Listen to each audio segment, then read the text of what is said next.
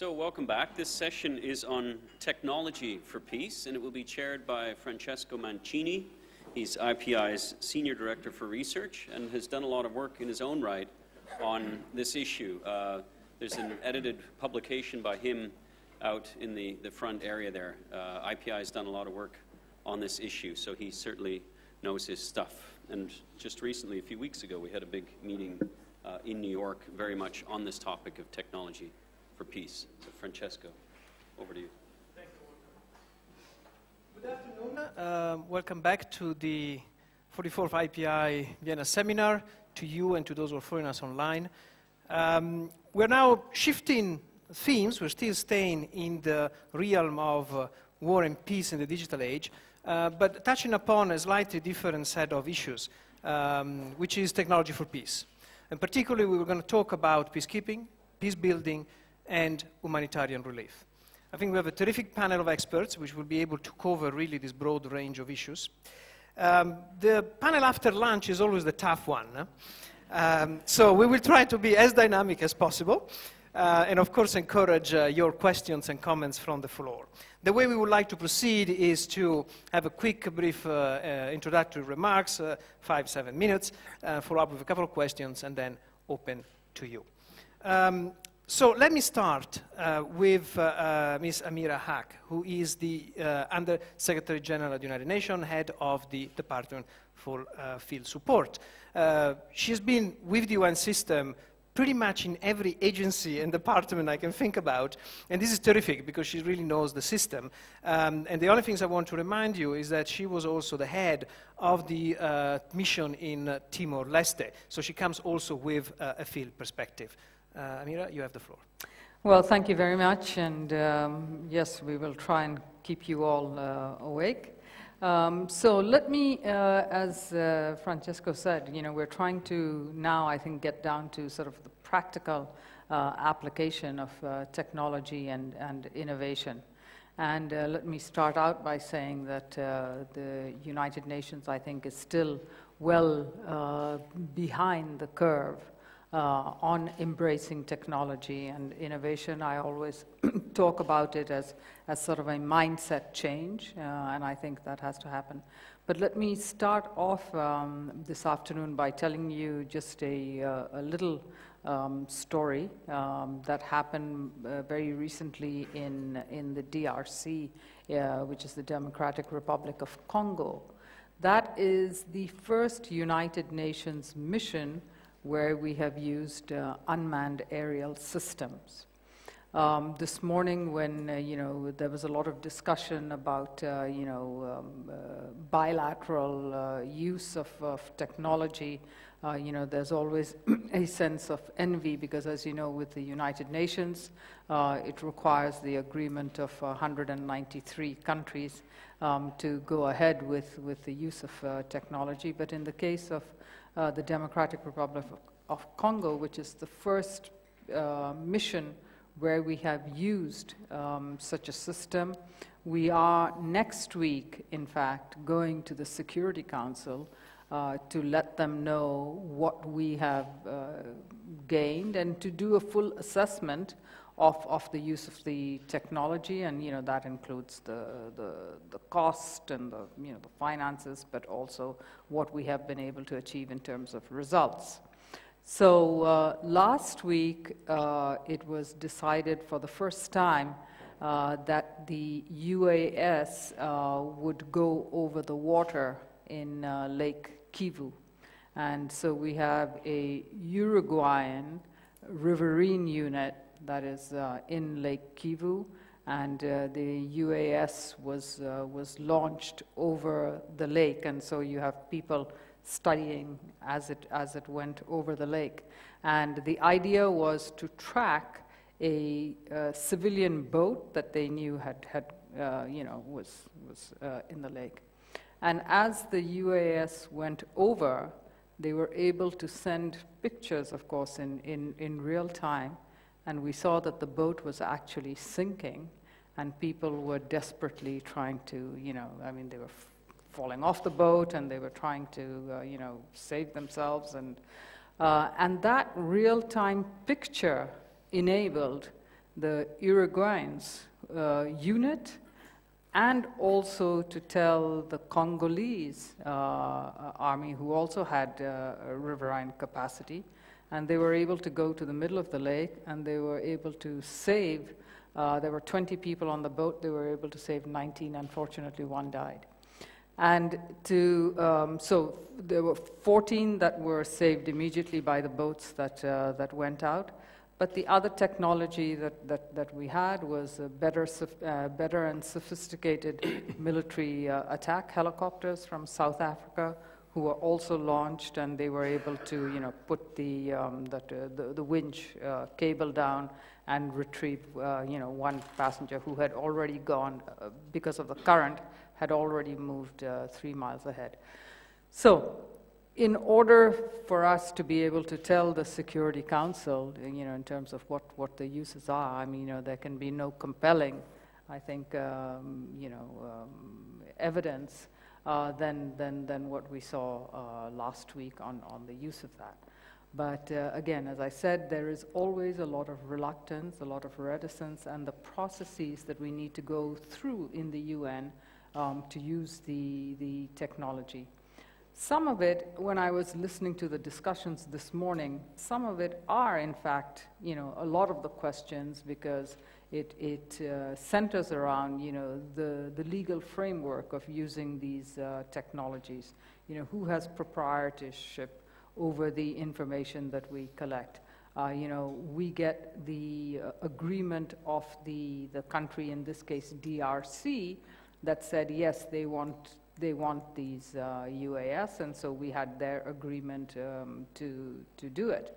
Uh, but if there was information collected uh, on a neighboring country, then, uh, you know, uh, where does that information, how do we deal with all of that information? And so we can understand that member states do have, you know, some legitimate concerns about that. The, on the flip side of that right now with, with the um, situation as it is in South Sudan, uh, you know, we have been now rebuffed by the uh, government in South Sudan to use the UAS um, uh, in, in South Sudan. And yet we feel uh, that there is no more need uh, anywhere than in South Sudan right now, which lends itself to, to this technology and the information that we can get, both for the, you know, both sides um, to the conflict. Uh, but um, clearly the government of South Sudan has not given us uh, the uh, agreement despite, uh, you know, I think interventions at, at, the, at the very highest level. So, you know, it is not sometimes that we don't want the technology, but that the um, the way within which we operate, um, you know, doesn't, um, doesn't allow us. Now, there is, you know, obviously pressures coming from, from uh, you know, a lot of different sides um, with, with South Sudan, and, and, and we'll see where, where it goes.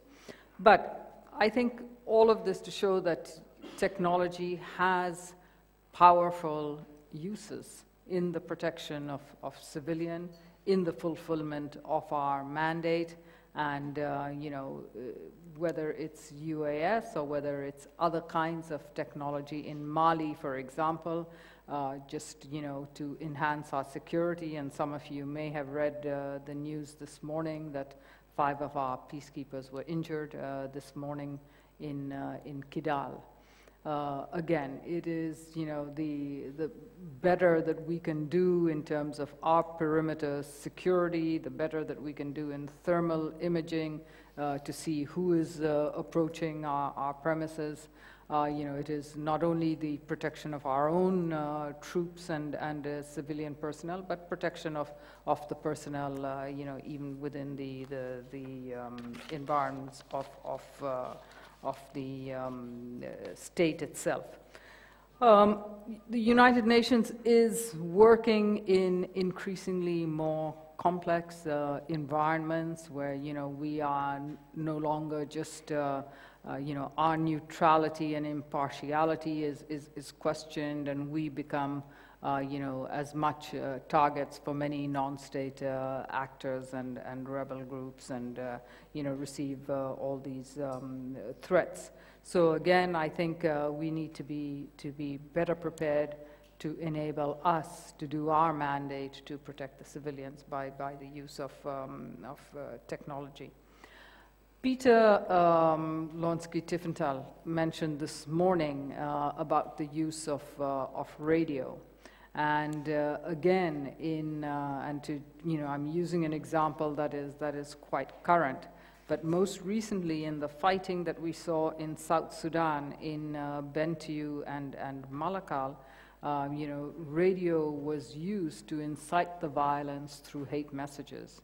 This, for those of you who remember in, uh, you know, Ivory Coast and uh, also in CAR now, um, is, is, is, is a tool that is, uh, that is increasingly used. Again, um, the kind of technology that we can now bring, which allows us to set up broadcasting very quickly. It's sort of like a radio in a box, which allows us to, to um, you know, also uh, get, get on the air, uh, helps mitigate to a certain extent by having messages from community leaders, religious leaders, uh, elders, and others who, who the population may, may listen to. So again, that's, that's an example uh, of that.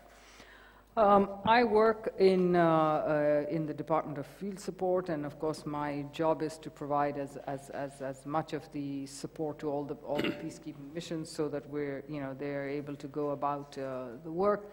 And so technology to me doesn't only stop in, in, in the kinds of things that I am saying related to security and safety and better, uh, you know, up-to-date information on, on movements of, of troops and, uh, you know, mine detection work and uh, all of that, but also in terms of how we are able to um, to live and you know sort of cohabitate in communities where we set up our presence.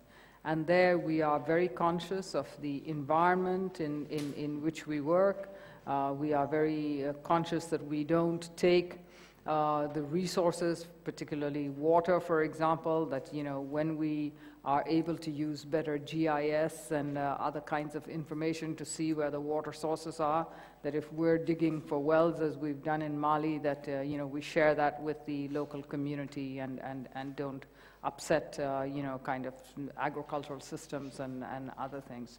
Uh, you know, environmental um, consciousness in, in, in, in many other ways. Uh, alternative sources of energy. Our colleague from uh, UNIFIL this morning um, talked about uh, the harvesting with, uh, with solar energy. And, uh, you know, these are also, um, you know, different uses of, of technology which go beyond looking at just what we need for our missions, but sometimes has that, uh, you know, spillover effect where communities are quite intrigued by these technologies and then start using them and adapting them themselves um, to, to, to their requirements. And so that is, that is a, uh, a, a, good uh, sort of what we call a, a spillover effect. As I said, the UN is behind the curve on, on using the technology. And part of what we want to do is, is to get as much expertise and assistance. And here, sitting in Austria, I've spoken with some of my colleagues um, who, you know, we, we feel that we can, we can uh, learn a lot from the technology. We have uh, most recently um, put together a panel of five experts. One of the experts is sitting right beside me, uh, and uh, they will let us know also how we can um, you know, uh, just uh, how best to leverage uh, new technologies in, in peacekeeping. So let me stop there because I can go on and on in terms of, uh, you know, giving different examples. But I think the critical message is that um, as we go forward in the future, I think it is absolutely incumbent on us to have kind of a, a, a, a change and a mindset change uh, that allows us to do smarter peacekeeping. Smarter peacekeeping means that we have better mobility, better agility, we're more nimble, we don't have to have the numbers that we want because technology allows us to get information which earlier on had to be done just by vast and large numbers of troops. So we've got to become, you know, sort of more tech savvy and smarter in, in the way we do that, and, and uh, so that is what we're, uh, what we're uh, looking at. So um, thank you, I think I'll leave Thank you. Thank you very much. Uh, you mentioned a couple of times the UN is behind the curve in terms Mm, of technology mm. development. That doesn't come as a surprise to people working around the UN. Why do you think it's so? Um, when you were, for example, in East Timor, uh, did you yourself found resistance in, you know, accommodating needs, for example, that technology could have uh, satisfied more properly? Yeah. Part of it is what I mentioned earlier, that I think some of, and because of the discussions that we had earlier, that, you know, I think the, uh, to a certain extent, reticence of member states uh, to really sort of give us the go-ahead. So in the case of MONUSCO, we've gone ahead and done it, but we will report to the Security Council next week.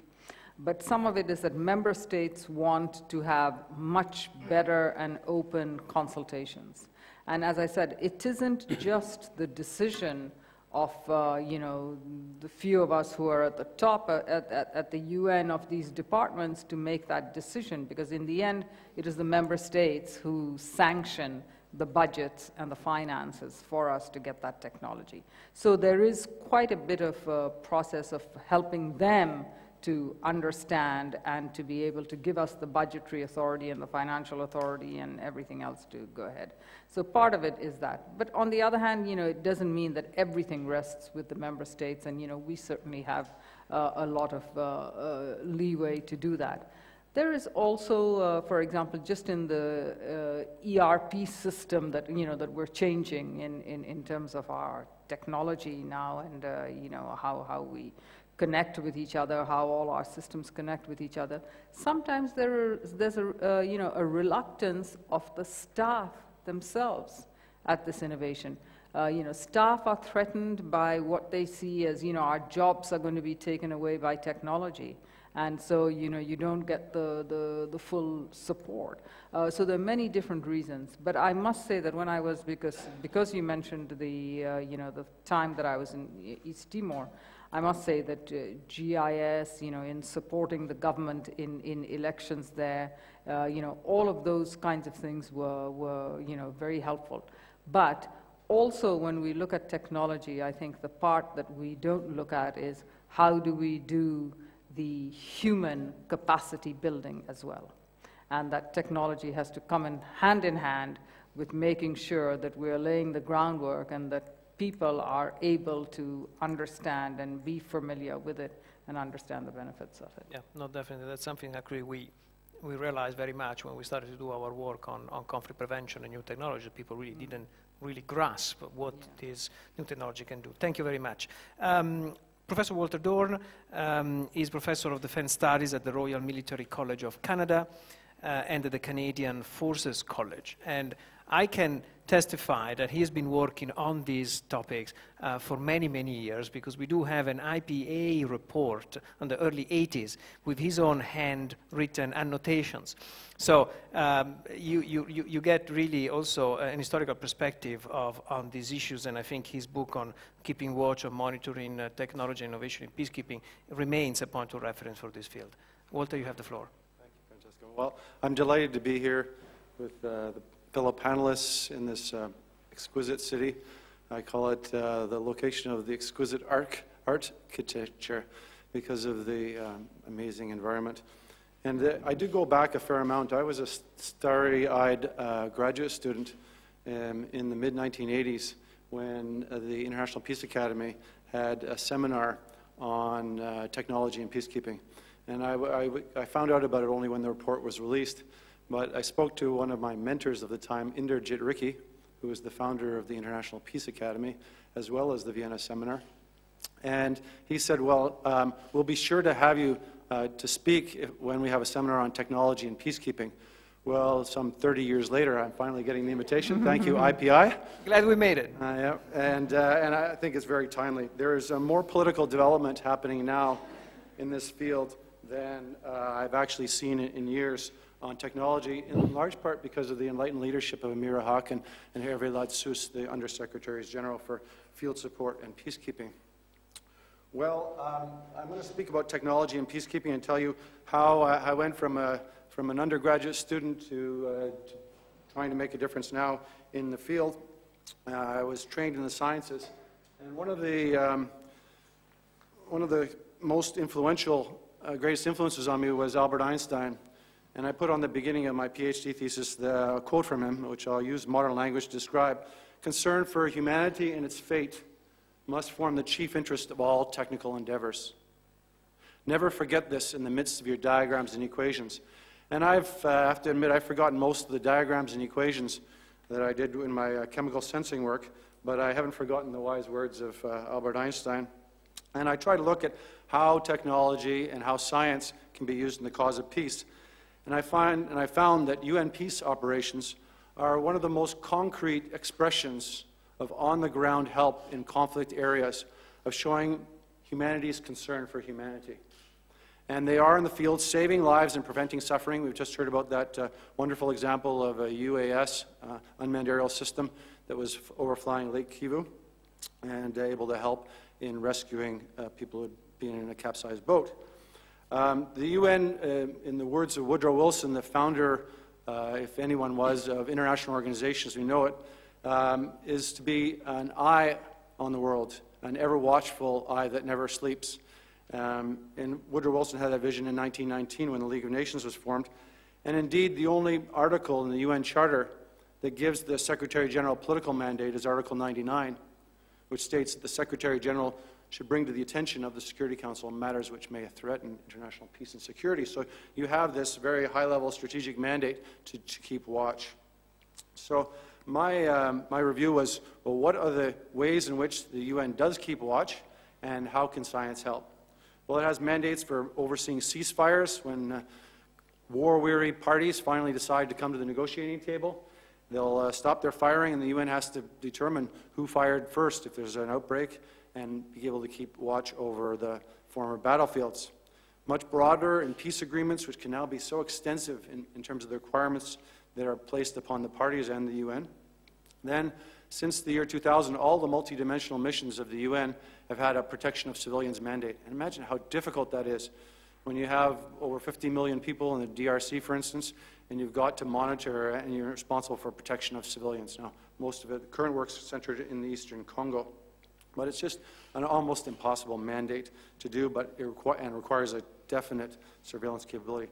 Monitoring elections, even running them, I had the good fortune of being the electoral officer in East Timor in 1999, and, uh, and I knew that there were so many things going on beneath the surface that we couldn't uh, expose because we didn't actually have evidence, but we knew that we knew that it was going on. And at one point, my life was threatened for because of false information that that uh, would have best been exposed to how and why they were doing the threatening. Monitoring human rights, huge expansion in the special rapporteurs uh, that monitor human rights around the world, monitoring of sanctions. You know, the sanction busters try and evade the sanctions. Well, the UN's job is to keep the watch and make sure that they can report to the Security Council and the sanctions bodies that these are sanctions busters that are working um, in these border areas. Have to monitor armed groups and spoilers of the peace process for early warning. As I mentioned, the Secretary General has an early warning mandate, and so do many missions. Resource exploitation, which are often fueling the fires of conflict by allowing illegal mining and resource extraction and uh, seeing the exchange of guns and trafficking in human people um, in, in, in, this, in, this, vicious cycle. And uh, the UN has to know how those resources are being exploited in order to do something about it. And of course, you need to monitor for threats against safety and security of UN personnel. Um, and there's a, what I call the peacekeeper's dilemma. When the conflict gets the hottest, like uh, the, the, the, short mission we had in S Syria. Um, when the conflict is hottest, then it's hardest for the peacekeepers to go there because they're putting their lives in danger. That's one area where technology can play a gap in order to fill what I call the um, monitoring gap. Can fill the gap that exists in monitoring and peacekeeping operations. Because the traditional tool of peacekeeping has been, well, the Mark I human eyeball hardly evolved over the last million years, or at least uh, 100,000 years. Uh, it has limited capabilities over large areas, limited at night for underground detection unless you're Superman. in remote, difficult terrain, and when you, when you see something, how do you record it if, you're, if you have no device to, to do the recording? Um, analyze it, sharing and storing it, and pass it on. Those are the problems. And technology can increase the range and accuracy of your observation. It can allow for continuous monitoring. It can increase the effectiveness, and as Ameerah suggested, it can improve your cost effectiveness. If you can have, um, as I, I looked at one study on the cameras in Cyprus, where they replaced observation posts, and I discovered that in the first year, it was a savings, a factor of 10 times cheaper to have the cameras there, and subsequent years, 100 times cheaper than having a 24-hour manned observation post. You can use it to decrease the intrusiveness. If you don't want that presence to be right in the face of the parties, you can, uh, you can uh, of course, you want to have human interaction, but you can control it better when you have technology as a tool. And then increase the safety of the staff in the field to get out of that peacekeeper's dilemma that when the conflict is raging, that's when it's most difficult to observe it. And provides you with recordings and evidence of, the, of what's happened. So this resulted in, um, in some contract work I did for DPKO uh, during one of my sabbaticals, and then in a book published by UN University Press uh, called Keeping Watch about monitoring, technology, and innovation in UN peace operations. This is one of the key diagrams, and I'll use this as kind of my uh, summary uh, diagram of looking at the technology. We have satellite reconnaissance. In fact, Indar Jit Rikhye told me that when he was force commander of the UN Emergency Force in the 1960s, that the, the, Americans would come in with satellite or with images. They'd put it down on his desk in front of him and said, there's a tank that's not in the place where it's supposed to be. So you might want to ask the parties to remove that tank. And he knew that from the UN sources that there would be no aircraft in the area, and he knew that the Americans were showing him satellite imagery but they wouldn't allow him to keep it, much to his chagrin. Um, airborne. Well, we, we, we have had examples of uh, equipped jets. In fact, they were provided by Sweden in the Congo in the 1960s, um, Saab jets. Um, but uh, the UN has very seldom used jets afterwards. They have used helicopters for observation. There were uh, four Alouette uh, glass bubble helicopters in the Congo, in addition to those amazing Mi-25 helicopters that had fourth generation FLIR, forward looking infrared, also used in the Congo and helped in the rescue operation last week. Um, the UN has just started using UAVs in the Congo. Um, that was a project that was first proposed by uh, the MONUC mission in 2005. Uh, were several attempts to procure, but it only uh, happened in 2013. But actually, it was an achievement because the expression of interest only came out in January of 2013 and by December of 2013, you had a system with initial operating capability working in the field. Aerostats, I think, is, a, is, is really future. I mean, within the next few years, that we'll see that this is a very cheap way of getting some aerial surveillance on a tethered balloon that you can use as a landmark, uh, can help as a waypoint, and that uh, can give you the bird's eye view without uh, all the expense. I have myself just purchased a, a tethered balloon for $1,500 um, putting a Hero GoPro camera on it, and uh, getting some excellent imagery from the air. Um, and it might be very useful in, in Mali, for instance, where you, you, you, have peacekeepers attack in airfields that are, that are being um, mined or uh, improvised explosive devices are being put there, to have a 24-hour watch. On the ground, we have ground-penetrating radar, which could be used for uh, monitoring weapons. Often the parties, they'll go to the conflict, they'll come out of the conflict, but they want to have their insurance policy, which is that they still have the weapons, yet they're supposed to participate in the disarmament, demobilization, reintegration program. But how do you find all those weapons? Often they're just buried in strategic locations in the ground. Well, ground penetrating radar can help you locate those weapons, um, and it can also help you locate the sites of atrocities. Where there are mass graves, you can uh, help see what's underneath the ground. Ground surveillance radar can be used to be able to do monitoring at 5, even 10 kilometers to see a person or a vehicle moving. Um, this is good for camp protection. I'll show an example of a GSR that was used by the Irish Quick Reaction Force in Liberia. Um, then we have seismic detectors, which can detect the sound of you know people walking, um, even 10 meters away on uh, if you're in a rocky area, or the sound of tanks. Uh, the, that is the vibration of tanks in the ground, or even the sound. I have a colleague in, in Germany who's looking at uh, acoustic sensors to be able to detect the difference between a Leopard 1 and a Leopard 2 tank or, or between different types of vehicles.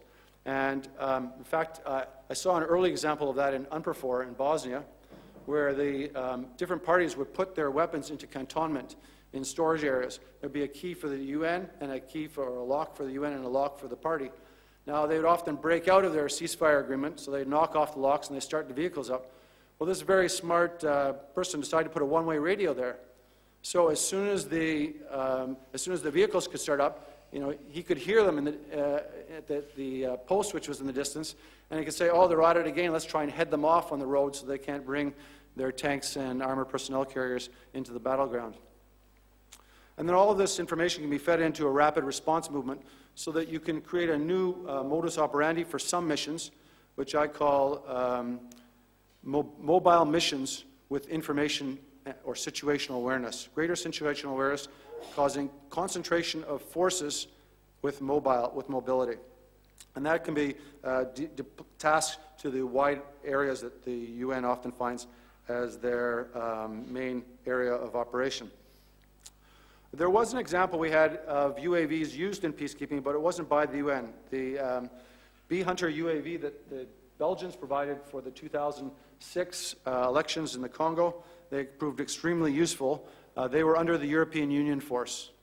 And uh, the image feed that came from the B-Hunters was provided to the UN, but not through an image feed, but rather the UN was invited to the EUFOR headquarters to be able to observe what was on the big screen there that the uh, UAS was seeing. And here's an example. Both sides, um, both the president and the vice president, were engaged in an arms race.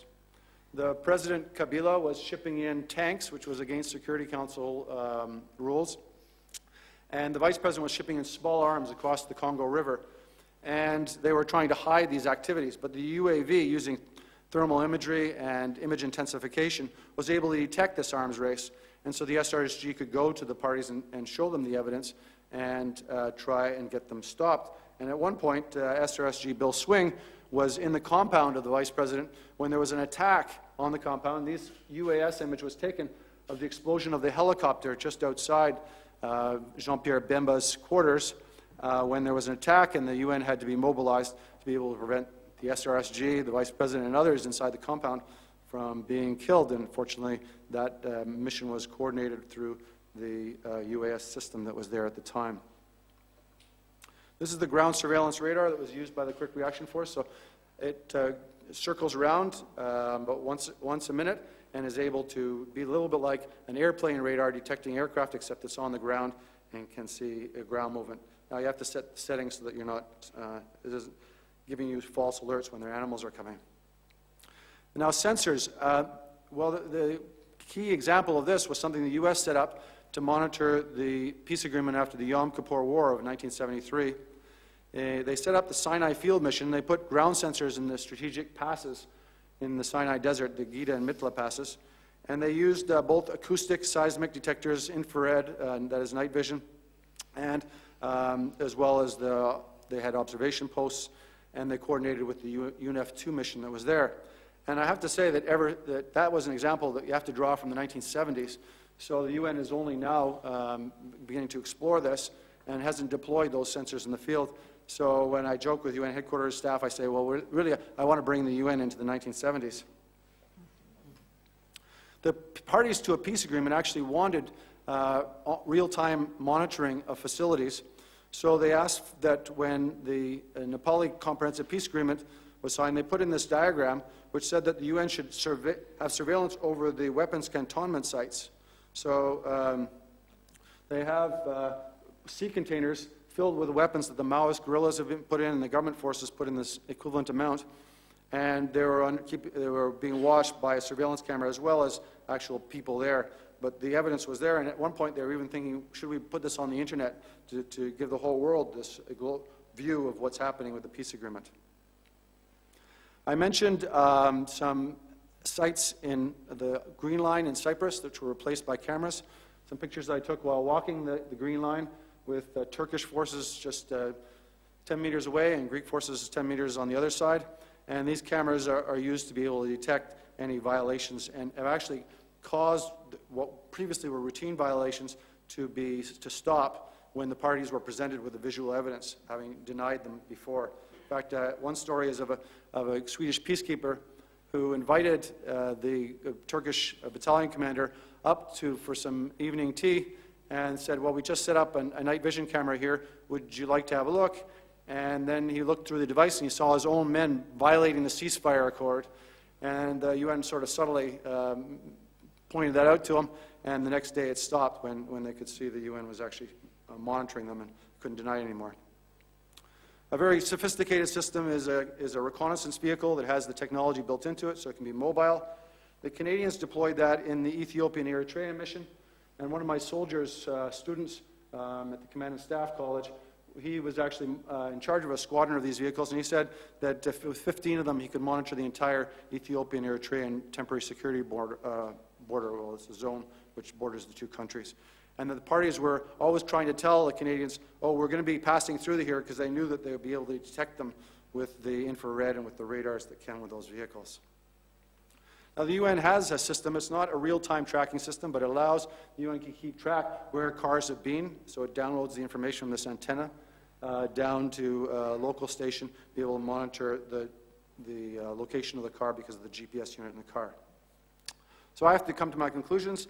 There's no technological fix to the problems of uh, human peace and conflict, but technology can be of immense value in monitoring, preventing, and mitigating conflict. Technical monitoring can increase the safety and security of peacekeepers as well as the effectiveness of the mission. The UN, given the survey that I did, lacks the equipment, resources, preparation, and training needed for effective and efficient use of modern technology. It uses some technology in some missions when some countries have brought in the technology, but it's an ad hoc and unsystematic approach. Without uh, lacking thermal imagers that are UN owned, they have some image intensifiers, but not the thermal imagers seismic or acoustic ground sensors. They have an absence of doctrine, SOPs, and training materials, but they do, did develop a technology a tech, monitoring technology policy about two years ago, which helped to draft. And we need to re-engage capable contributors. Post-Afghanistan, we now have a lot of countries that want, want to know what they're going to do with their militaries and peacekeeping, and certainly I can see this from the Canadian example with three of my students doing master's work on how their particular area of expertise can be used in UN peacekeeping, including uh, surveillance aircraft. And the study also showed that the UN is capable of incorporating advanced technologies. In the communications and information technology realm, the UN is world class, with uh, capable for VTCs and uh, communications within 24 hours virtually anywhere in the world coming in sea containers.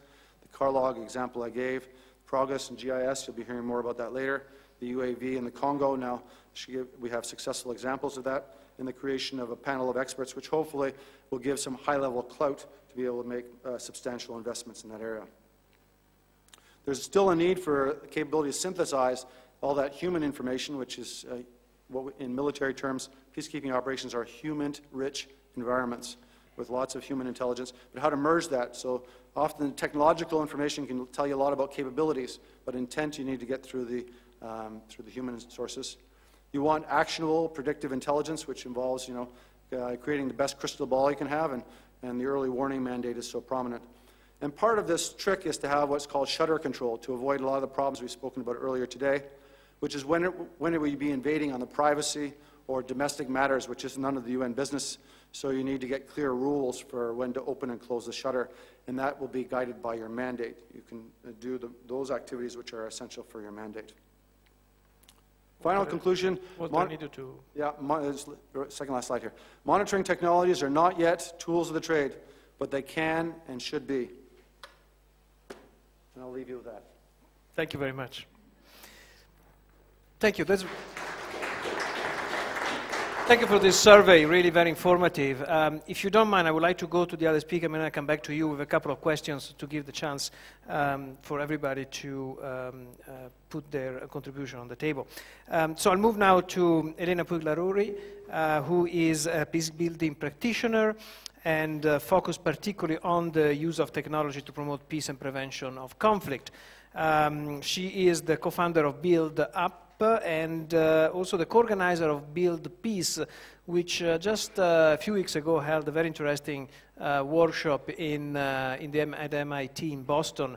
And um, it was a, a fascinating snapshot of what is actually happening at uh, the community level, and I think which is particularly interesting uh, for the role of uh, prevention of violence and conflict. Um, is also an author of this report, so you should really take a look at it. Um, Elena, you have the floor. Thank you. Um, so I thought perhaps I could start before going into some of the examples that I want to give you of the kind of work that we do in using technology for peace building by pointing out some of the differences in between the previous two speakers and, and the work that I do you know, as a way of framing it.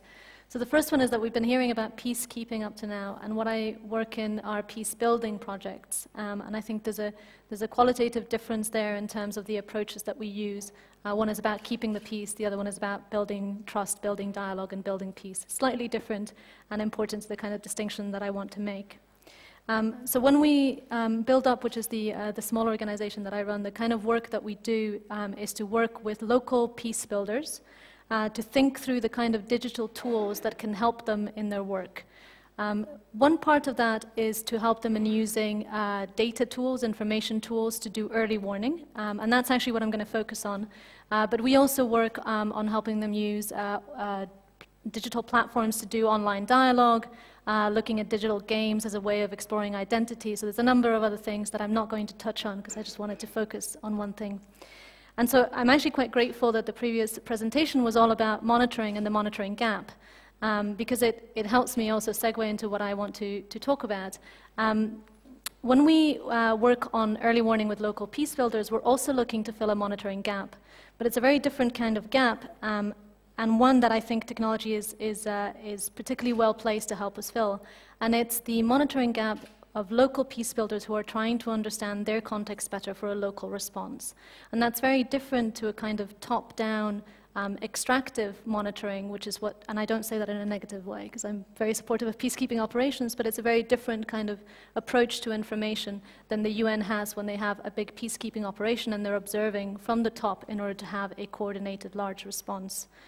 Um, the reason I want to talk to you about, the, about this particular aspect of using technology in peace building is because I think that technology actually allows for uh, bottom, bottom, and bottom up uh, collection and use of information in a way that was not possible before. And I hope that the examples I'll give you will, will illustrate that somewhat.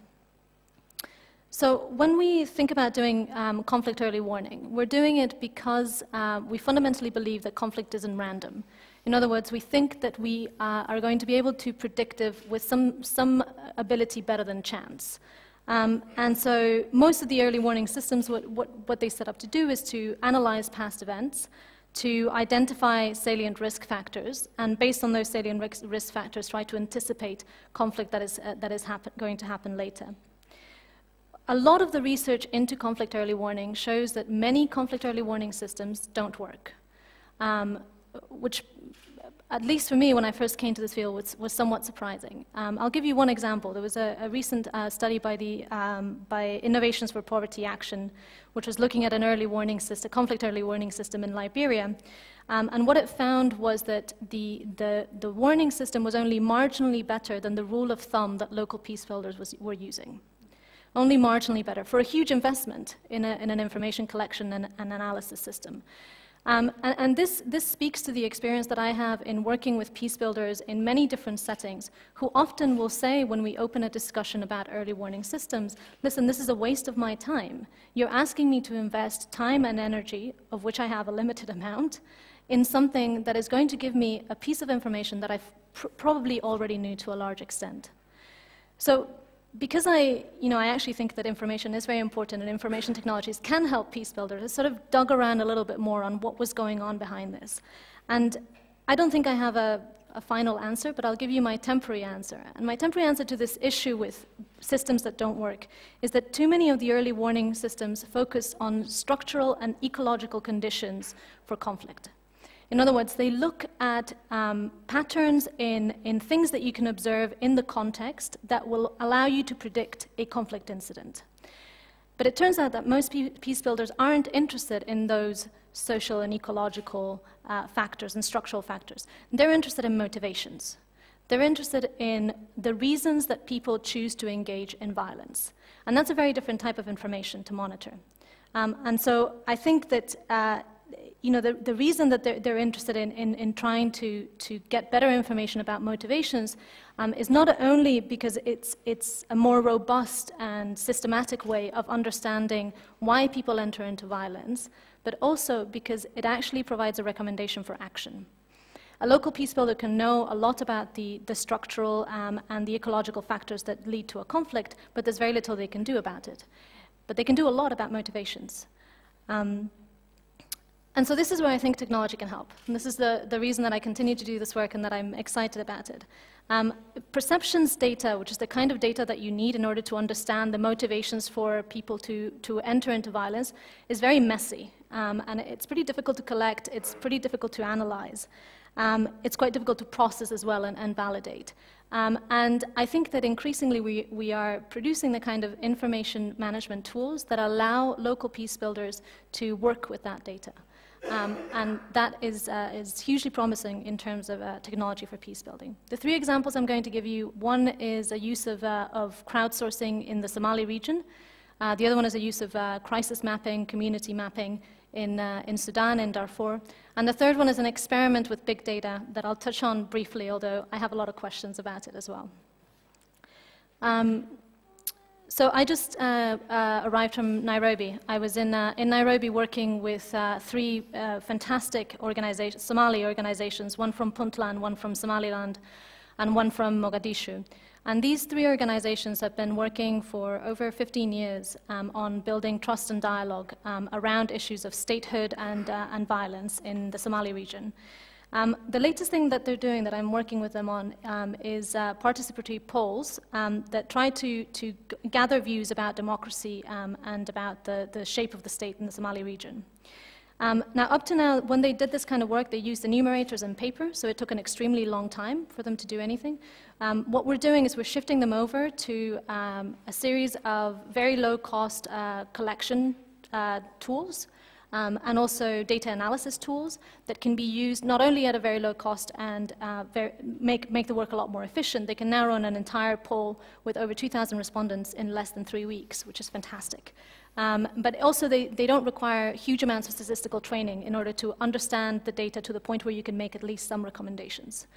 Um, we also have introduced uh, the idea of using crowdsourcing to answer specific questions. So the vast majority of their opinion polling is still done with traditional opinion polls, but when there is one question that they want to find out more about and that they need to get an answer quickly on, they can, they can basically put out a, a short code that people can text back a response to. It has a, a, a back and forth question mechanism, so you basically text in saying hello, and the, the system will text you back the first question, you respond, it texts you back the next question, and so on. You can only really run it for sort of three or four questions, so it has to be a pretty simple topic, um, but it's still very powerful. So what that allows them to do is to have the right information to help influence policy, um, and also to target their own interventions, their own dialogue interventions a lot more effectively. So that's the Somali region. The second example is, uh, is uh, a group, uh, an NGO in Sudan, a Sudanese NGO, they're called the Sudanese Development Initiative, um, that I've been working with for a number of years.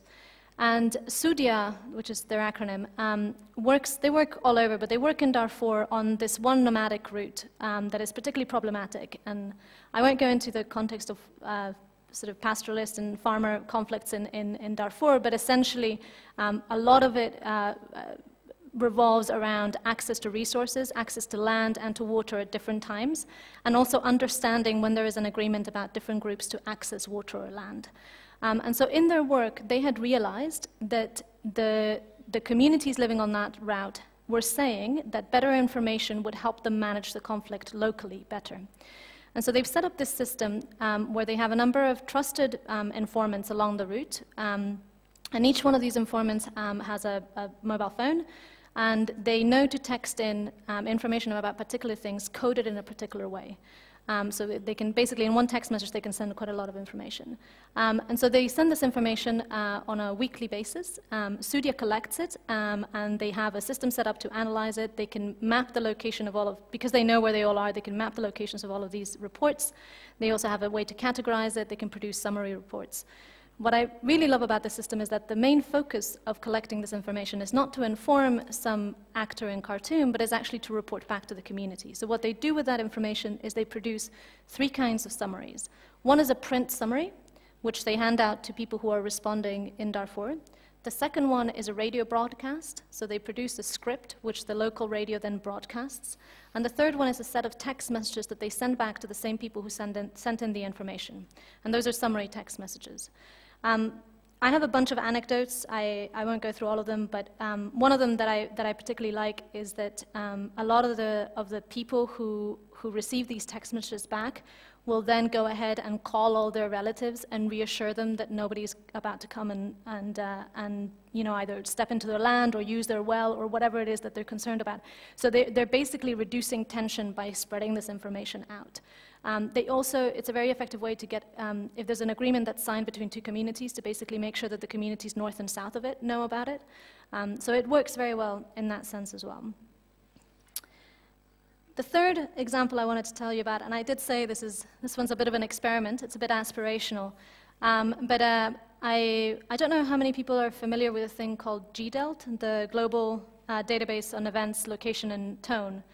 Um, it's, it's, a, it's a big uh, database that basically gathers, um, I, I actually, I don't even know whether it's thousands or hundreds of thousands, I, probably hundreds of thousands, of, uh, of uh, entries of um, uh, media, basically, so media reports um, from both international, national, local, and hyperlocal sources from around the world. And each single event in each single media source is um, coded for location, uh, um, actor, type of event, and tone. And the tone has to do with basically whether it's positive or negative. There's a, well, it's a bit more complicated than that. There's a whole scale, but essentially whether it's positive or negative. And so um, what's interesting about this database is that a number of tools are being de developed. It's, it's public and free. Um, but apart from that, there's a number of tools that are being developed to allow um, not very technical users to, to use that data to get a picture of what is happening in a particular place. Um, and so UNDP um, ran a pilot where they looked at all the data um, in, about Tunisia um, and looked at what information they could glean from that, um, from the GDELT uh, data set. And essentially what they found, I, I, was involved as an advisor in this project, and essentially what they found is that you can detect a change in, a change in tone in Tunisia um, in, a, in, the, in, the, period around the revolution. Um, but you probably, you know, it's probably just a more efficient way of reading the news. Like there wasn't that much more that you got out of that apart from what you would have done if you were, you know, sort of avid reader of, of news sources. Um, but the other thing that they found, and this is what I think is really interesting, is they found that what it did do is it gave you a much better picture of what were the interactions between the different actors. And um, uh, what, I'm going to borrow a phrase from a, from a colleague called Sanjana Hattotuwa, who works for the ICT for Peace Foundation, for those of you who know him. And he calls that the track two social hubbub. Um, he basically says this is how you figure out who's talking about who and who's, who's pushing who and whose opinion is kind of mattering. And the reason I think that's interesting is because when we do, when I work with local peace builders and we begin to analyze a conflict, we use systems thinking and we do, we do a conflict map where we try to basically find what the interactions in the, in the conflict dynamic are.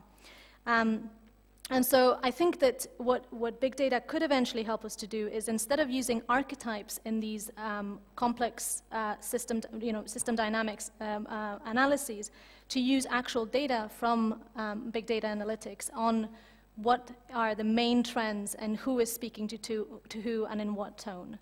Um, so those are my three examples. Do I still have one minute to ra wrap up? Uh, no. Yeah? No, I don't?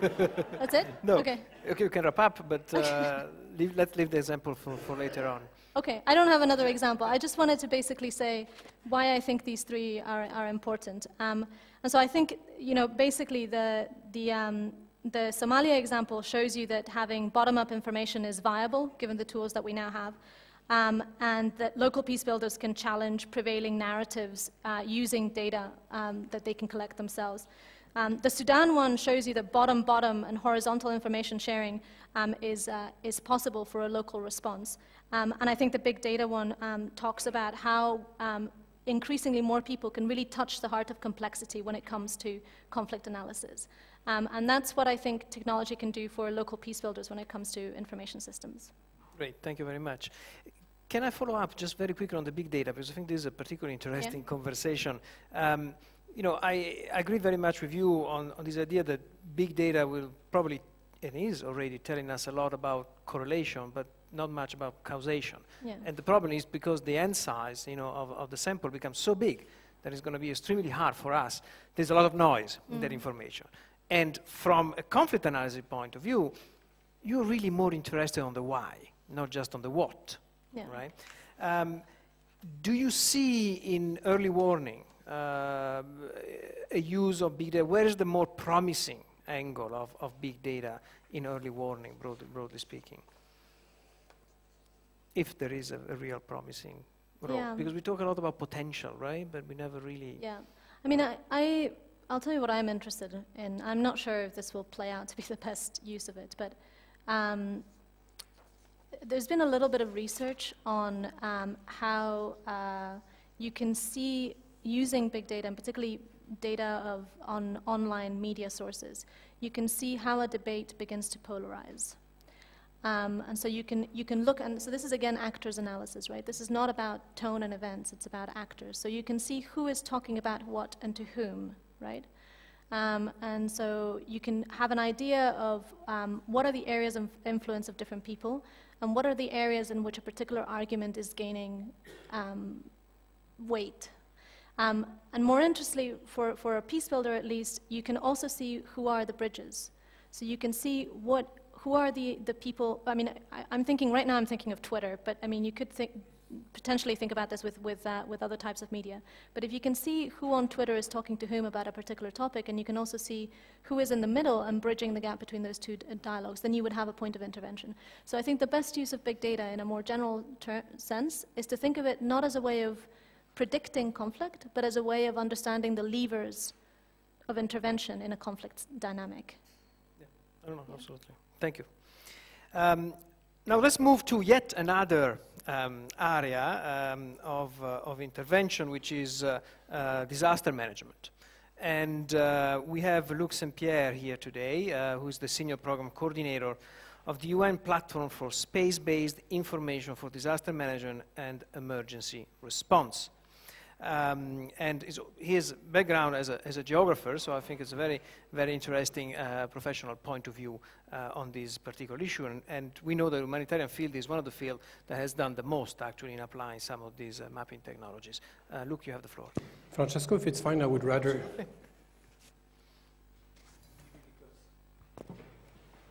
this room is a bit like a chapel, and uh, my name is Saint Peter. I feel more comfortable here to preach for you. Uh, I don't have any presentation, though. And without starting a debate with my colleague of the UN, I would like you to appreciate that uh, uh, when we talk about humanitarian affairs, uh, excluding peacekeeping, we're talking about a different UN in a way. Uh, humanitarian agencies, and not only UN, but international organizations, don't have the resources or the means of the peacekeeping.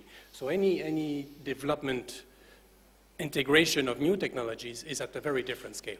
Uh, so the, the please appreciate this, this, uh, this factor in my presentation. I, I will not talk much about technologies and innovation, actually, but more uh, in the context we're working uh, as actors of uh, humanitarian affairs.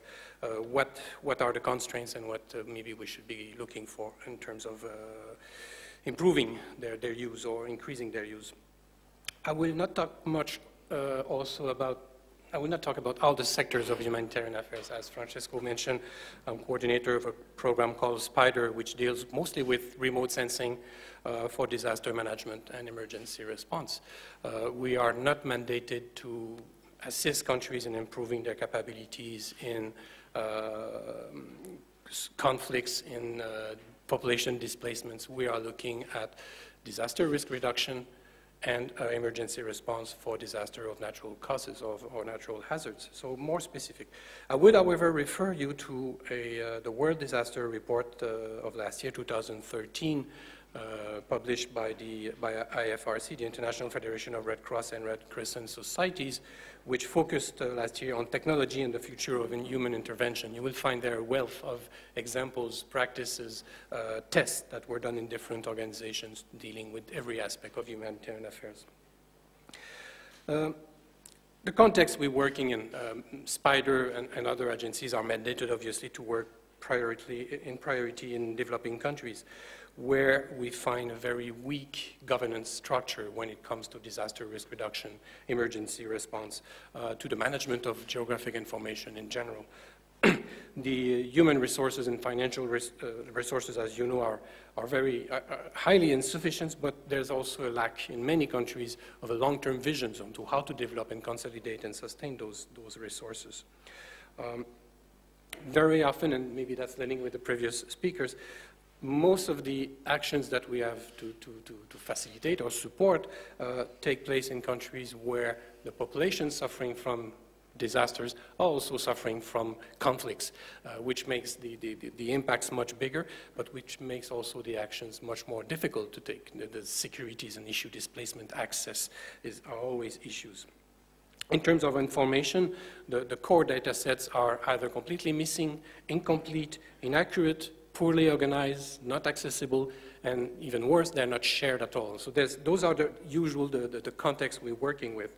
Uh, so SPIDER, in that, with that perspective, SPIDER ensures that, wants to ensure that all countries, international regional organizations have access to and develop the capacity to use all type of space-based information. Big word to say remote sensing, Earth observation data mostly and very importantly, to support the full disaster management cycle. And I'm insisting on the word full. Uh, I, will, I will get back to that later. What we do, uh, we're not operational in the sense that we won't mobilize teams, we won't set instruments or tools or develop or do research, but we'll uh, provide uh, advisory services to our member states on how they can improve their capabilities in accessing and managing uh, information that can be useful uh, to them. We do that by uh, developing good practices in knowledge management, information sharing, sorry, uh, data exchange practices and all that. We're also very uh, active in trying to bridge communities uh, involved with responsibility or authorities in disaster management or emergency response. Um, I always say the two because there are technical distinctions, but you, you get, you get the, the, the grip of it. Uh, those communities can be uh, space agencies, national, regional, private companies who are, uh, are, operating satellites, for example, who are acquiring, selling, distributing satellite imagery. They might be part of international mechanism to make that imagery accessible, free of charge in case of disaster. Uh, they can be provider of uh, global navigation system for navigation and uh, geoposition. Uh, they can be also provider of satellite telecommunication uh, services, which are uh, important also in both early warning aspects and response.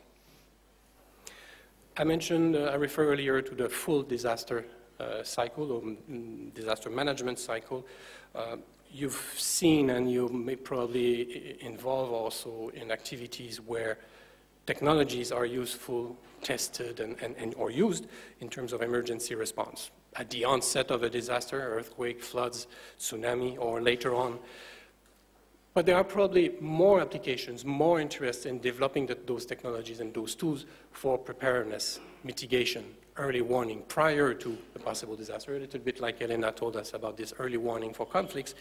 There are many applications for, from these uh, space-based applications that uh, are being developed, implemented, but probably face more uh, constraints at different time between, between preparedness and response and recovery, uh, you will find different actors.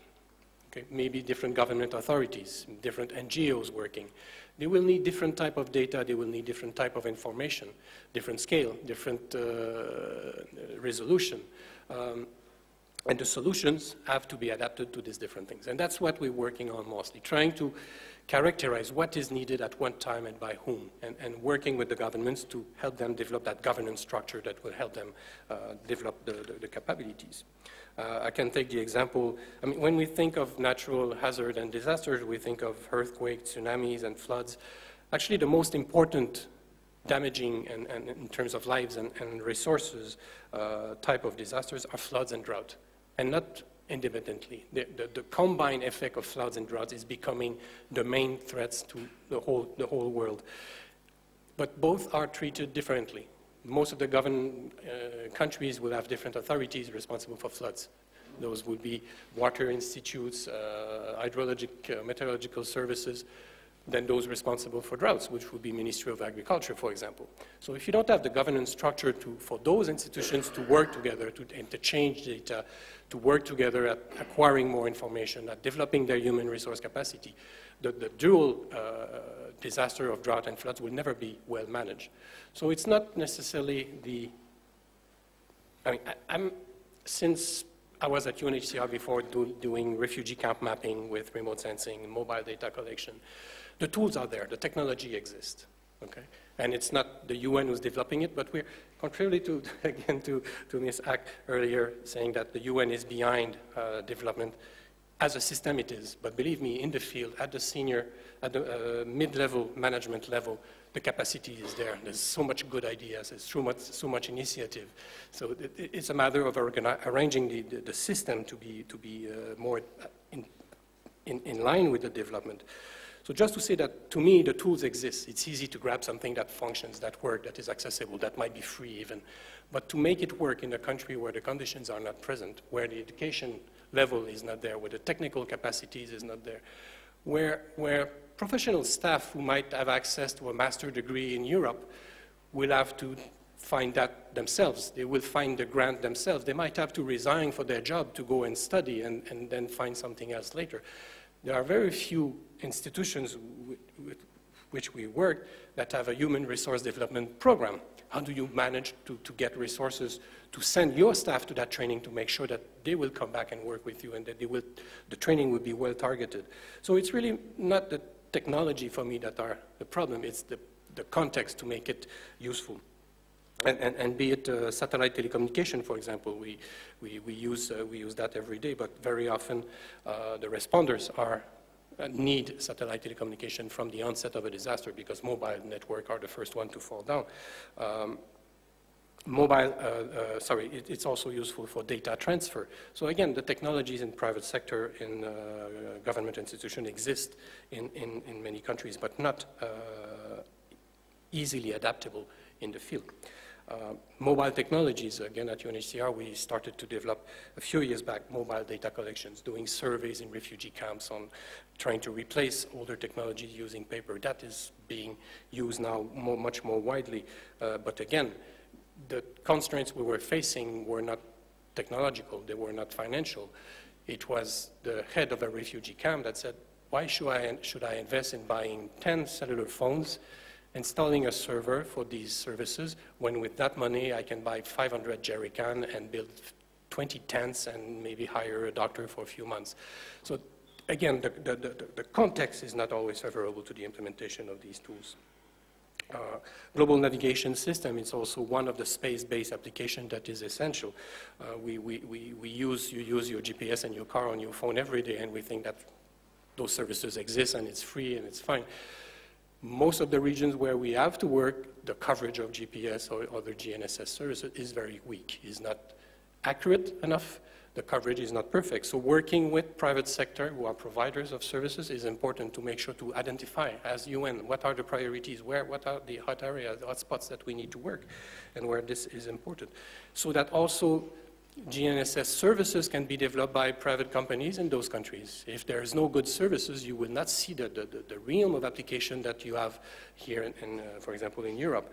Uh, so th those services need to be developed. And that's where UN agencies are working. We're trying to promote that. And, and when I said earlier that SPIDER tries to develop bridges between communities, that's what we do. We had, we had a workshop last year where we had crowdsource and crisis mapper communities sitting with space agencies and provider of GNSS and say, this is what we can do, uh, but the products that you're making available are useless to us. They're not timely. That's not what we want. Space community will say, yeah, crowdsourcing is good, but we don't know about the data quality. We sat together for three days and opened open up a little bit the discussion, and it helped. It's, it's far from being finished. The main tool, though, is uh, Earth, Earth, observation uh, tools, remote sensing data. Uh, SPIDER program focuses on remote sensing, meaning from space uh, platforms. There are, of, of, course, in humanitarian sector, the use of UAVs. We saw that, even of balloons. Uh, but again, when I say there's, there's a different UN within the humanitarian affairs, when we talk, talk about UAVs for camp mapping or emergency response, we talk about machine of 50, 70 centimeters that are hand-launched, uh, controlled with a mobile phone and, phone, and that costs $15,000. So not high altitude, permanently flying UAVs collecting lots of data. It's a very different context. And when I started, tried to, to use UAVs in Eastern Chad in 2008, I think with a private co uh, research company, uh, sorry, research uh, spin-off at the University of Lausanne, they were, we were ready to try it in the field. We never got the clearance to import immigration uh, customs in the country. And then the security officer told us, this is great, I love that tool. They were with us on a demonstration. If you fly that in a refugee camp in eastern, uh, in eastern Chad, it will be shut down by rebels in about 10 minutes. Mm. So the conditions, the field conditions, again, are not always there for, for technologies. And you have to understand, to assess, and, and observe a little bit what is possible. So in terms of satellite imagery, I will, I will finish soon. There's a, obviously more and more high-resolution imagery, meaning you can see smaller objects and map at a much higher level of details. The coarser or the more refined, sorry, the more uh, highest resolution you get, uh, the more expensive it is. And it's not always the best tool. We spent quite a bit of energy. I was in, in uh, Central America a few weeks ago, and we had quite a hot discussion with the Minister of, Envir Minister of Environment. He wanted to have high-resolution imagery over El Salvador because it's a small country, and like, sorry, you don't have the money, you don't have the resources to analyze it, you don't have the storage capacity for that kind of volume. Don't forget medium resolution, low resolution imagery that are free of charge that are, could be extremely useful to do land use mapping, land use changes, which is critical in terms of uh, identifying risk. Vulnerability mapping, you don't need high resolution. There are a range of solutions that are uh, accessible that needs to be, to be exploited. Um, we talk about radar imagery, which is not dependent to cloud cover, to night or day, uh, but again, the processing of that is more complex, the analysis, the understanding of those products. So you need the local, the national capacity to use those things. There's no point in, in pushing for these technologies to be further developed if we cannot assimilate what exists already. Same thing with micro or nano or cube satellites. They're, they're, they're, they're becoming almost a nuisance in a way because it will increase drastically the traffic in space. Our office uh, for Outer Space Affairs deals with the long-term sustainability of space, trying to have uh, rules on these microsatellites. There are all kinds of issues that, that uh, hinder a little bit the expansion of those technologies. Elevation model, again, very quickly. Uh, we have access to free elevation models, which are critical to produce risk map, flood map. Um, but what is available now is at 90 meters. Some providers are starting to make available elevation model at 10 meters, 5 meters, which can become useful in a place like Bangladesh, for example, where the denivellation is very small. But the cost, the volume of data, the, the, the technology is still uh, very expensive. So we're working as, as a group, uh, I say group because there are interagency efforts uh, within the UN to work with these providers. Um, just to finish, I will talk about some risk about technological innovation. I refer to some, some examples, and we heard about uh, different cases. Data sensitivity is, uh, is critical, and even more so when we start working with volunteer group, um, what, what we can do, what, how we, we, we screen, we filter, we disseminate information is critical. Big data, we heard different ex uh, example of big data. What I can add to it, one of the, the risk is that there is too much data, of course, by definition. If we look at the case of the earthquake in Haiti in 2010, I believe, there were hundreds of maps produced every day by different uh, organizations, agencies. Less than 1% of those maps were useful in the field. There was a survey saying this, is, this looks good, looks good on my wall, but it's useless in the field. Target the needs, understand the user requirement, understand the local capacity, and what is really needed is, is critical. Uh, and again, just to finish uh, in conclusions, we, Ms. Haq mentioned the need for education at the professional level, at the technical level, starting at the uh, secondary level in developing countries. We need to bring, to facilitate, uh, to have programs promoting the development of those technologies, research and testing in, in country itself. And prioritize, as I said earlier, there's no point in having good ideas that will cost $10,000 in cell phones if that the first the needs in health educations are not fulfilled. So we need to prioritize and convince also. Thank you. Thank you, Luke. Thank you very much. Incidentally, I mean, I see so many synergies between the things that you are doing, SPIDER is doing, and what we were talking before in, in peace mm -hmm. operation. And maybe one of the things that also the SPIDER group can do is looking into in the UN system and what already exists and what can be moved to other part of the system. Um, since we only have five, 15 minutes, I would like to open the floor, and then maybe I will add a couple of, of questions. So please. Can we have a microphone here, please? Thank you.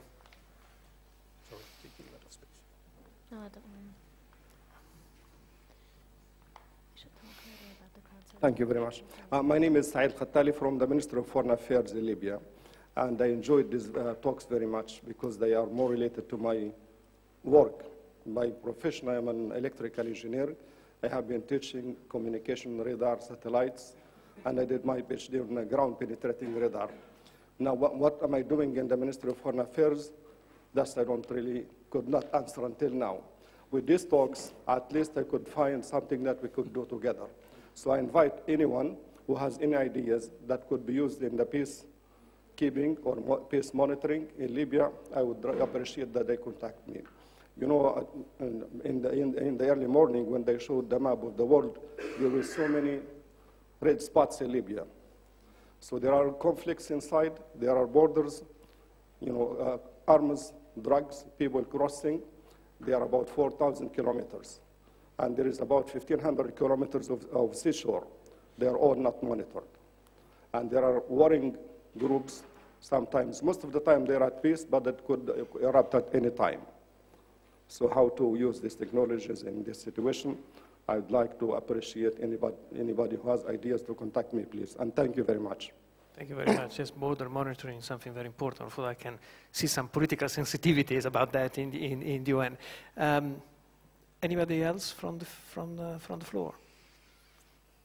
So let me add maybe a couple of points while you may be thinking of some questions. Um, um, look, you made a couple of uh, sort of negative examples uh, from your field. Um, some example in, in natural disaster management where technology was really useful and, and particularly uh, lessons that came out of it that maybe you can mention to us. And, and two, uh, Walter, I, I was thinking, um, there is a group of experts now. Um, I don't want to anticipate anything, but in the UN context, always limited resources, both financial and, and human resources. Uh, if you had to identify one or two priorities that you would recommend to the leadership uh, in terms of technology and peace, where the focus should be. So I want, should we go maybe in, uh, in, uh, in reverse order and, and start with Luke and then, uh, and I mean, unless there is, oh, there is another question there, so let's take this other question and then we wrap up.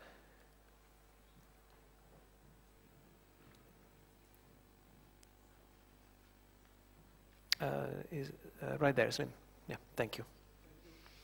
Um, so uh, you just mentioned uh, the problem with, uh, uh, I mean, the accuracy of the information uh, that uh, the space agency mentioned, etc. And that made me uh, uh, think about uh, what uh, uh, you just said before about that project in uh, with the SMSs uh, for preventing conflicts.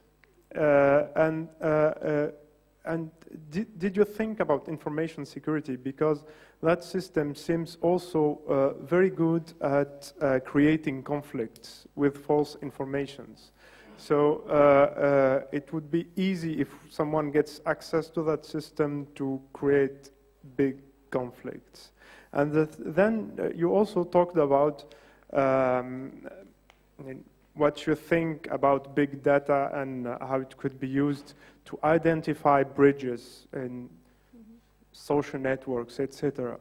Uh, uh, and this is also, I think, uh, i- there is a perspective of information security because those bridges will, will be also critical targets uh, in different kinds of uh, situations.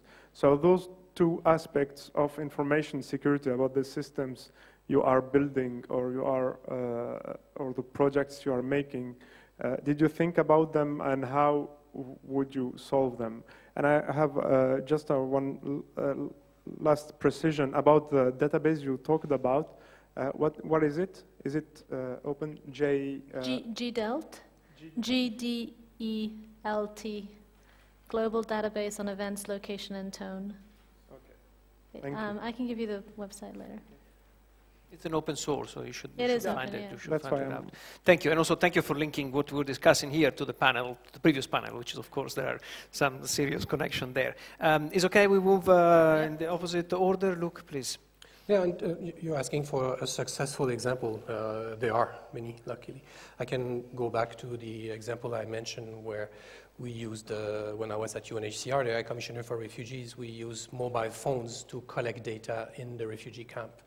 Uh, there were, on an annual basis, surveys on the use of mosquito net against uh, malaria in refugee camp uh, because mosquito net, there were schemes to sell, give mosquito nets, but the use of it was not clear, and most of the time people might be reselling the nets that were given. So there was a survey on how much it was used and quite detailed survey. And we ran uh, using open source software, working with an NGO, uh, we created the, the, the same forms on mobile phones. Uh, we trained uh, local staff half a day on how to use and fill the forms. And we did it with mobile phones in one refugee camp. Uh, I don't remember the figures exactly, but something like 1,500 interviews. While it was done in a second refugee camp that was in, in Kenya uh, with the traditional means, with paper forms. Um, at the end of the two-week period, we had finished the interviews with phones. It was also finished with paper. But the Saturday after, we had produced charts, analysis, and all the trends, all the data that was needed. Six months after, in the other camp, they realized that the data entry from paper to computer was all wrong. They had to do it again. So at more than six months after, they didn't have any data, and they had a room filled with stinky paper. Uh, but still, I was confronted with the fact that we had to buy phones, that we had to pay an NGO, that we had to buy a, a server and maybe have someone to, to uh, download the data and produce those charts compared to the needs in health and education. But the benefits of the, the, the, result is, to us, was clear, and, and, but we have to balance and, and, and, and be real, realistic also, understand what, what is possible. Of course, I left UNHCR and the NGO lady got pregnant and uh, funds were cut and this is not happening anymore in the section I was working. But another section in another camp managed to take it up and is still working with, with those tools. Uh, that's, that's why I was saying also there's, there's a wealth of energy, good ideas at the field level, at the operational level that is not always recognized and, and, and, and brought back. And it's partly our fault. We should be able to sell those ideas and good concept and tools to senior management so it's prioritized and integrated in, in the program, uh, program activities. Thank you for mentioning also information management, which I think within the UN, we're talking about a lot about outside, but within the UN would be a massive improvement if I think of how many people keep writing talking points without really being able to access previous talking points, right? If you just had a, an internal Google desk, that would solve all that, all that, all those problems. Uh, Helena. So I'll just answer Yes, Slim's maybe you question. can answer those questions. Yeah. Um, so, um, Slim, you already heard me say this last night, but I'm just going to repeat it for everybody else. I think one of the, when I work with local peace builders and they ask about information security and whether any of the systems that we're setting up are secure, I always tell them that since we don't have the resources to provide adequate security training or adequate security tools, they should assume that everything we do is absolutely public. Um, and then what we do is we analyze the risks of that data being public and of other people, of spoilers, is the language that is used in conflict analysis, so of spoilers utilizing that system. So that's the general answer. Specifically on the Sudan case, um, actually you missed the biggest risk, uh, which is what happened the first time we set it up in, uh, in the east of Sudan in, uh, in Blue Nile state, which is that it was shut down by the government. Um, so it never got anywhere. Um, so what we know about the, the system in Darfur is um, that we are only communicating the information that the government is comfortable with us communicating back and forth. Um, and that at any point it could be infil infiltrated by, by, well, that it probably is already being read by the government, but that it could also, they could also send messages through it. Um, we know that, and therefore we know that's the space that we operate within. But even within that space, it is a very useful system, as long as you know that's the space you're operating in, right? So that's the first one. The issue that you bring up with big data is um, a lot more complex. I don't think we have the time to talk about it, but I'll just say very briefly. Um, I think there is, you're absolutely right that there is a question about, um, which links to what, what, you, what your panel was talking about, about the difference in between somebody putting out a tweet and somebody mapping all the tweets and drawing an inference from it. Um, and I don't, um, I don't feel that I'm equipped with the right ethical framework to analyze whether that would be, you know, if we start doing that systematically in conflict settings, what that would do to peace building in general. Um, but I do think that we need a better ethical framework to answer that question. Because this work is so incipient yet, and I don't, I mean, in most of the places where I work, there's not enough da big data to do anything, uh, to draw any inferences. Some people try to do it with uh, big data in Egypt, and, and basically we're drawing all the wrong inferences because the, the data set is, is too skewed to a very urban, very male, very young population. So I, I don't have an answer. I think it is a problem, and I would love to talk more about it. Yes, massive biases problem there, definitely. Yeah. Thank you. Francesco, to answer your question about uh, possible examples of systems under limited resources, fortunately, the technologies are getting cheaper and cheaper, so it's, it becomes easier and easier to answer that question. Um, if you're talking about very cheap systems, um, I would say that solar-powered illuminators are a great device. People have them in their driveways, on their front steps of their house.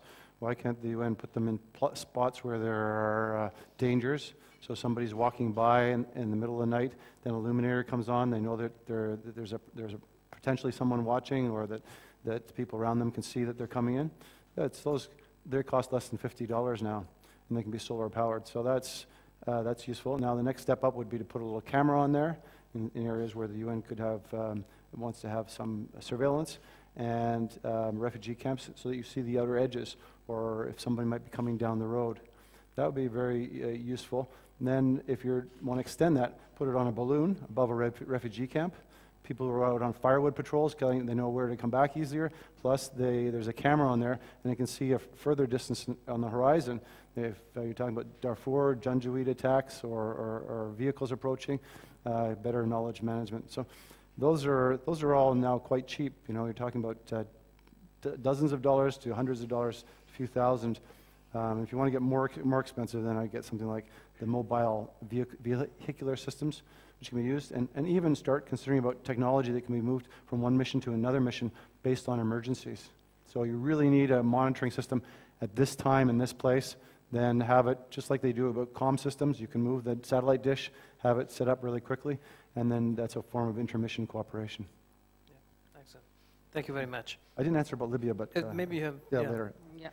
Um, thank you. On uh, the, you know, what technologies are, are um, you know, that, that, we should look at, I, I, think it coincides a lot with what, uh, what Walter has said. But let me just frame it in terms of saying that what we really need to improve is our situational awareness. You know, what is it that we can do that improves our situational awareness. And that's really the, the critical elements. So some of the things that Walter has said, you know, the aerostat, you know, uh, um, these tethered balloons, which can go up with cameras. Of course, UAS, uh, very, very important. Uh, some of the other things that he mentioned briefly in his presentation, infrared thermography, uh, thermal imaging, uh, some of these things, again, which give us real-time information but as I said, with that situation awareness has to also come the ability for us to move quickly to areas that we think are potential hotspots, and that means that we need to, to increase our mobility uh, in those areas. And so in, in that context, I mean, you know, aviation assets, first and foremost, when we procure them commercially, they're expensive, and it's very difficult for us to get the kind of military utility helicopters and military attack helicopters that we require from member states. This is a constant uh, request that we make over and over again, uh, and we are seeing now a little bit more of that in terms of what people call Afghanistan factor, that with the withdrawal, that we see a, a little bit more coming peacekeeping budget right now is at $8 billion, which is kind of a ceiling. I think with the new missions that, uh, that uh, and in, uh, you know, uh, additional enhancements and other missions, it, it will go up even further. And so therefore, we need to work with experts like Walter. We have internally resource efficiency group. What we have, have done so far is we've reduced the per capita cost of a peacekeeper by 16 percent but the overall cost of, of, uh, of uh, peacekeeping because of new missions and everything else is going up. Uh, so again, you know, we have that, that uh, very strong sort of balance. But I would say any kind of technology that enhances our situational awareness and gives us the mobility with that situational awareness is what we're looking for. Terrific. Thank you very much. I think we reached the end of this panel. It was a very interesting session. Thank you to our panelists, and thank you to you for following. Mm -hmm.